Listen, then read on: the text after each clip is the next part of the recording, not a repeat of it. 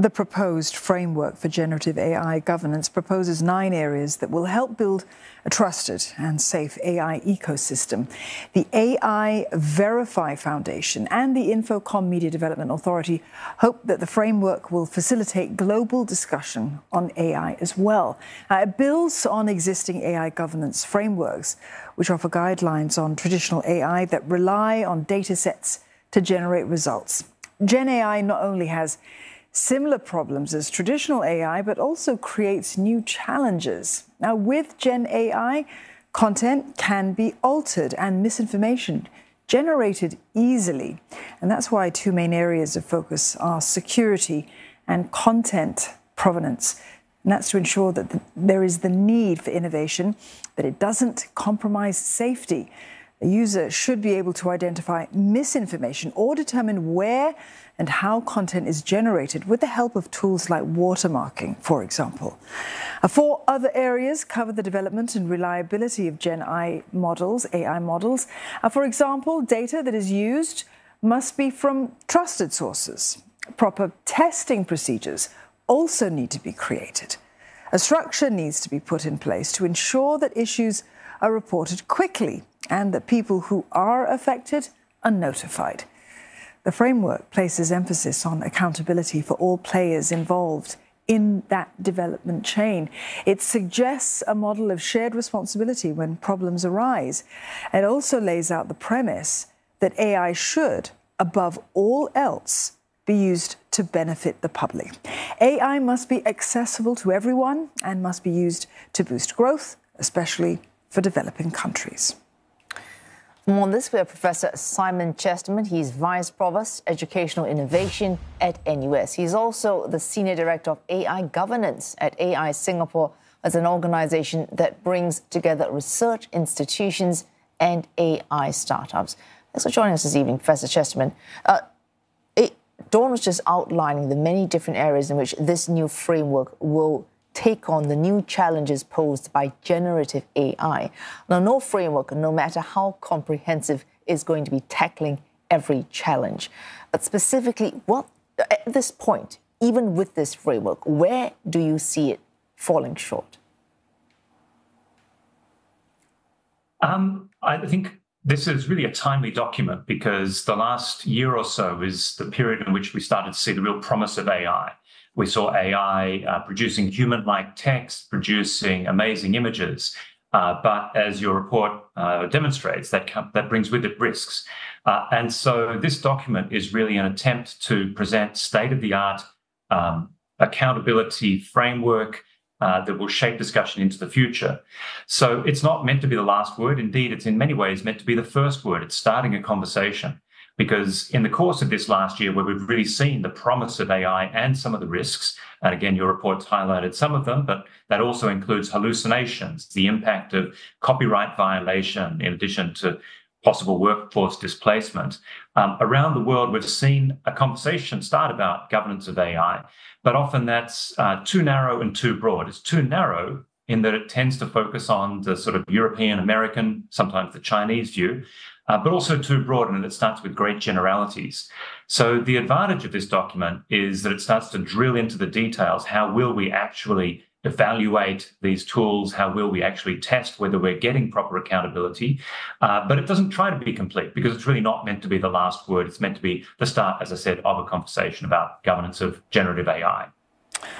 Professor Chesterman, you mentioned some of the challenges there of hallucination, uh, the fact that the previous framework for traditional AI perhaps too narrow in its specifics.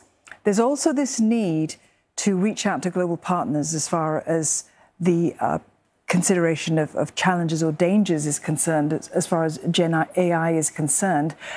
Why is that collaboration so important going forward? Yeah, I think it's really telling that Singapore chose to launch this at Davos, uh, as indeed it did launch the original Model AI governance framework back in 2019. And that I think is really meant to send a signal that Singapore is interested in partnering with all stakeholders, uh, in particular with industry, uh, because one of the biggest shifts in the last decade or so of AI research is the move of fundamental research along with development and deployment to industry, uh, which is why it's OpenAI Microsoft, Google that are the key players here, where a decade ago it might have been MIT, Stanford, to some extent, National University of Singapore, NTU, and so on. Um, so I think that is an important way of saying we need industry to be involved, we need partners in the private sector. Um, but also, Singapore has been very active in forums like ASEAN, where we chaired the ASEAN Digital Ministers meeting, the Forum of Small States, the United Nations, uh, the Global Partnership on AI. Uh, and I think that really shows the need to cover all your bases, as it were, uh, in order to ensure that this conversation is a truly global one, um, that it's not just a conversation between Europeans and the Americans or between tech companies, but includes all stakeholders who have an interest, which means all of us. Uh, Professor, uh, you were speaking, you said this is the first word in the conversation that will continue for decades, for a long time yet, on how we govern AI. So, one issue, uh, provenance, uh, to be sure where it's coming from and how it might have been altered along the way. Uh, the framework for traditional AI dealt with issues like transparency. Now, this is a new challenge that we then have to deal with. Uh, what will this mean in practical terms for people who develop generative AI models? Yeah, that's an excellent question and a really difficult one um, because I think we've seen the challenge of identifying what is real, what is fake. Personally, I didn't think that the fake news videos of uh, Prime Minister Lee Hsien Loong, DPM Lawrence Wong looked that realistic, but there is a risk as this technology gets better that it'll be harder and harder to determine what's fake. So um, the document, um, the model framework outlines some of the current practices, but it's also quite alive to the limitations. Uh, and I think it highlights really um, two of the key fault lines. One is um, it's easy to label something as fake, provided that um, the company that made it and the forum through which it's transmitted remains constant. But it's pretty easy uh, to make a copy of that that doesn't bring with it the same watermarking. Uh, it also highlights that there's a real difficulty in uh, labeling text.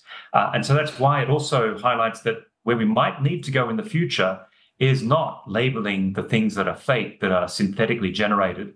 We might need to consider going down the path of labeling what is true, what is verifiable, and have some sort of means of tracing its provenance back. Uh, because rather than trying to identify everything that's fake, given the ability of this technology to generate ever larger quantities of ever more realistic human like information, uh, it might be simpler to focus on the things that really are genuine.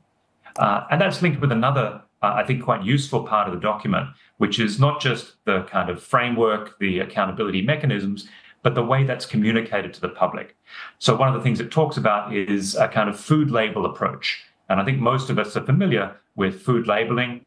Um, when you're talking about food that goes out to the general population, there are some poisons that are outlawed, uh, some things that are restricted, but there's a whole swathe of areas in which we're able to make choices, but the government industry wants us to make informed choices. So much as we do that in our food diet, I, I think we're going to have to do that in our information diet if we're going to uh, keep alive to our own responsibility as consumers, as users, in uh, identifying what we can rely on and what we probably shouldn't.